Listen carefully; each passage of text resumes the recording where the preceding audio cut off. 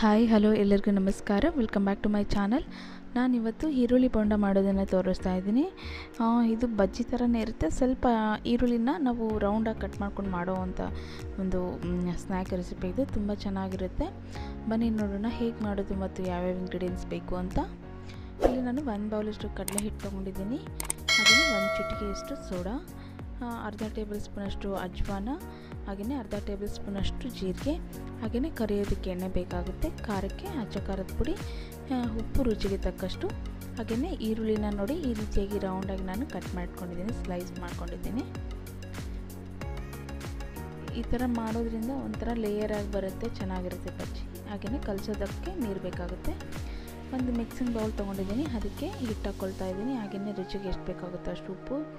ಜೀರಿಗೆ ಮತ್ತು ಅಜ್ವಾನ ಎಲ್ಲವನ್ನು ಹಾಕ್ಬಿಟ್ಟು ಚೆನ್ನಾಗಿ ಮಿಕ್ಸ್ ಮಾಡ್ಕೊಳ್ಳೋಣ ಒಂದು ಸರ್ತಿ ಈಗ ಒಂದು ಚಿಟಿಗೆಯಷ್ಟು ಸೋಡಾ ಹಾಕ್ತಾ ಇದ್ದೀನಿ. ಸೋಡಾ ಹಾಕೋದ್ರಿಂದ ಚೆನ್ನಾಗಿ ಉಬ್ಬುತ್ತೆ. ಹಾಗೆಯೇ ಹಚ್ಚ ಖಾರದ ಪುಡಿ ಸ್ವಲ್ಪ. ಈಗ ಮತ್ತೊಂದು ಸರ್ತಿ ಚೆನ್ನಾಗಿ ಮಿಕ್ಸ್ ಮಾಡ್ಕೊಳ್ಳೋಣ. ಈಗ ನೀರನ್ನು ಸ್ವಲ್ಪ ಹಾಕ್ಬಿಟ್ಟು ಹಿಟ್ಟನ್ನು ಕಲಿಸ್ಕೊಳ್ತಾ ಇದ್ದೀನಿ. ಇದು ತುಂಬ ತೆಳುವಾಗಿ ಕಲಿಸ್ಕೋಬಾರ್ದು. ಸ್ವಲ್ಪ ಮೀಡಿಯಮ್ ಆಗಿ ಗಟ್ಟಿಯಾಗಿ ಇರಬೇಕು. ಹಾಗೆ ಚೆನ್ನಾಗಿ ಬೋಂಡ ಉಬ್ಬುತ್ತೆ. ನೋಡಿ, ಇಷ್ಟಿದ್ರೆ ಸಾಕು ಗಟ್ಟಿಯಾಗಿ. ಹಿಟ್ಟು ರೆಡಿಯಾಗಿದೆ ಈಗ ಬೋಂಡನ್ನು ಫ್ರೈ ಮಾಡ್ಕೊಳ್ಳೋಣ. ನಾವು ಕಲಸಿಟ್ಕೊಂಡಿರ್ತಕ್ಕಂಥ ಹಿಟ್ಟಿಗೆ ಸ್ಲೈಸ್ ಮಾಡ್ಕೊಂಡಿರ್ತೀವಲ್ವ ಆನಿಯನ್ನ ಅದನ್ನು ಡಿಪ್ ಮಾಡಿಬಿಟ್ಟು ಈಗ ಕಾದ ಎಣ್ಣೆಯಲ್ಲಿ ಕರಿಯೋಣ. ನೋಡಿ ಮೀಡಿಯಮ್ ಫ್ಲೇಮಲ್ಲಿ ಇದನ್ನು ಫ್ರೈ ಮಾಡ್ಕೊಳ್ಳೋಣ.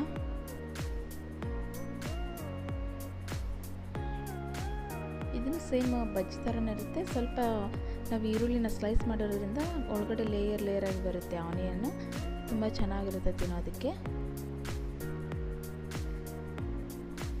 ಎಲ್ಲವನ್ನು ಹಾಕ್ಬಿಟ್ಟಿದ್ರೆ ಚೆನ್ನಾಗಿ ಫ್ರೈ ಮಾಡ್ಕೊಳ್ಳೋಣ.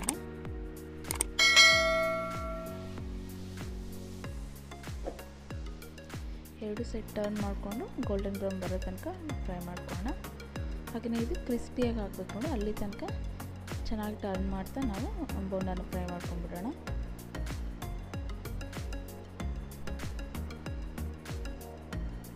ನೋಡಿ ಈಗ ಲೈಟ್ ಗೋಲ್ಡನ್ ಬ್ರೌನ್ ಬಂದಿದೆ ನೋಡಿ ಈಗ ತೆಗೆದುಬಿಡೋಣ ಇದನ್ನು. ಬೋಂಡ ರೆಡಿ ಆಗಿದೆ ಈಗ. ತುಂಬ ಚೆನ್ನಾಗಾಗುತ್ತೆ. ಇವತ್ತಿನ ರೆಸಿಪಿ ನಿಮ್ಗೆ ಇಷ್ಟ ಆದರೆ ಪ್ಲೀಸ್ ಲೈಕ್ ಮಾಡಿ. ಹಾಗೆಯೇ ನಿಮ್ಮ ಫ್ಯಾಮಿಲಿ ಹಾಗೂ ಫ್ರೆಂಡ್ಸ್ಗೂ ಕೂಡ ಈ ರೆಸಿಪಿನ ಶೇರ್ ಮಾಡಿ. ನೀವು ಸಹ ಒಂದು ಈ ರೆಸಿಪಿನ ಟ್ರೈ ಮಾಡಿ ನೋಡಿ ಹೇಗೆ ಬಂತು ಅಂತ ನನಗೆ ಕಮೆಂಟ್ಸಲ್ಲಿ ತಿಳಿಸಿ.